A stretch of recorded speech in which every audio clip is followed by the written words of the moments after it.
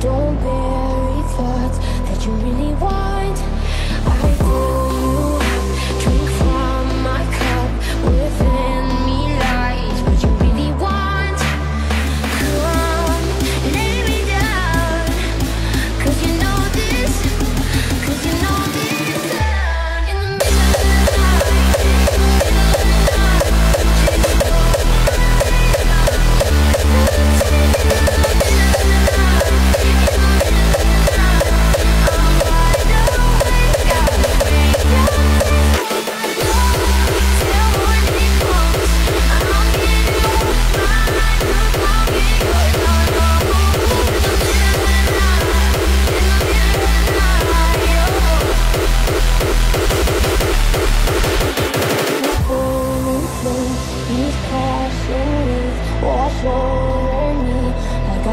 Yeah.